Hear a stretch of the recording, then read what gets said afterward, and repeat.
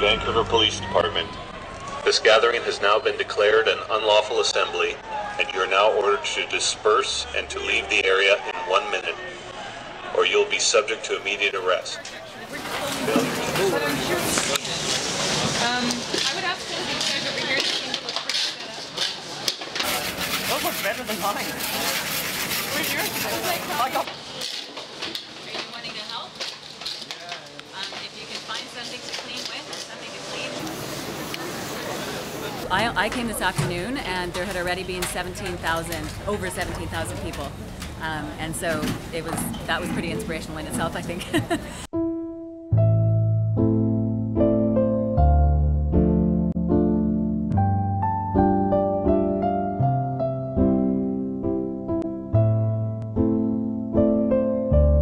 I'm from Victoria.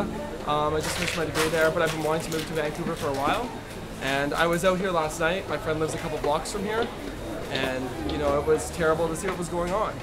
And so I decided this after this morning, got some food. I just wanted to come out here and hopefully get this back to the way it looked before the game. It's just been to get to get all the chips and all the stuff down. I've been here since 11, but I haven't been scrubbing since 1. I mean, I started scrubbing when it was, when it was what it called. So, does that feel so bad for Vancouver? Some guy just came away and gave like free coupons for like Burger King or something like that. And even just other people came by and had like groceries or something and like, oh, do you want a granola bar or like stuff like that. So it's kind of cool to see everyone come together.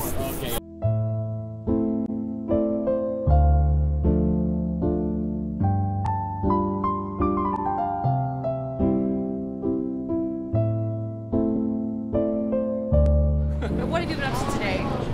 Uh, scrubbing graffiti off of buildings and such. Lots of buildings. The uh, Sears building was pretty covered. Wow. Just Trying to clean it up a bit.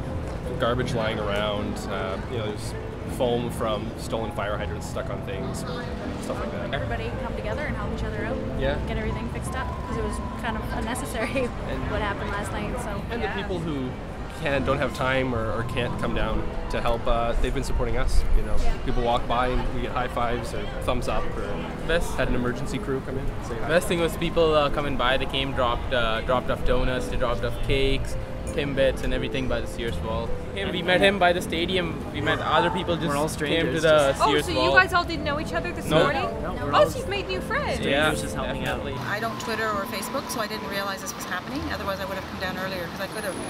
And uh, I mean, I saw a man with one arm, and he'd been down here for four hours sweeping. We got SOS pads and sponges and towels or um, sponge towels. Why have you been doing this?